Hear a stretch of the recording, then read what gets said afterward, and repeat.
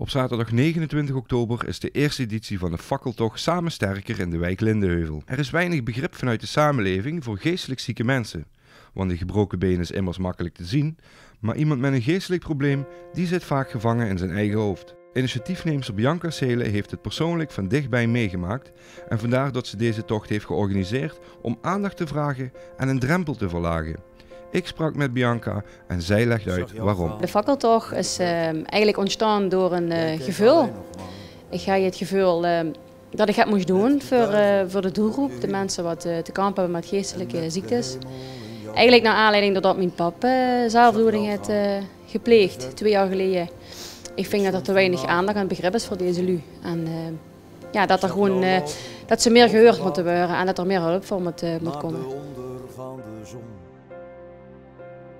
Jij ging naar de overkant. Jij ging naar ik heb uh, heel veel positieve reacties gehoord. Er is ook heel veel samenwerking in de wijk. En uh, ja, eigenlijk dat komt echt het, uh, ja, het motto samen sterker komt echt naar voren. Want ook heel krachtig, want ik kreeg, ik kreeg hulp van alle kring. Dat, ik werk heel nog samen met het wijkplatform van Leentjeuvel en met de gemeente Gelend Sittard. En ik kreeg hulp dat ik, ook maar nodig heb. Uh, ik ga je hulp nodig bij flyeren, uh, onder andere. Hè? Dus uh, me toch op, op, op, op touw te zetten. En ja, daar hebben we heel veel jullie geholpen. En ik wil ook iedereen heel dankbaar voor. Die, we hebben met z'n allen samen geflyerd en we hebben samen bijeengepakt. En ja, het was ook heel bijzonder om te mogen doen.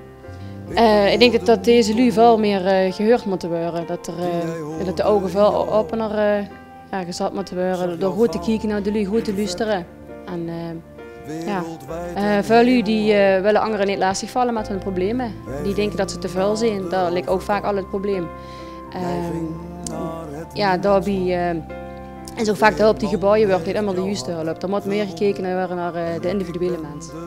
Ja, dat is wel heel fijn aan Lintjeuvel. Dat, uh, dat, dat zich allemaal samenpakt. En dat is echt één, uh, ja, één, één groep, zeg maar. Het is echt één, één samenleving. Dat is heel fijn. Uh, we hebben sowieso een, ja, een Facebookpagina, Lichtje in het Duister. Dat is inmiddels veranderd naar Bianca Fakkeltocht. Maar op de, op de flyers daar, kent ze ook zien welke Facebookpagina het is.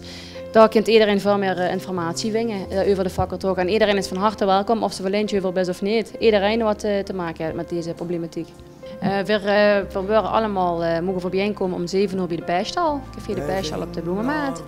En uh, vanuit daar zal een welkomstwoord zijn en een beetje een stukje uitleg. En dan zullen we gezamenlijk een route lopen door Leentjeuvel. En dan komen we bijeen bij de bij Nederland in de Rozelaan.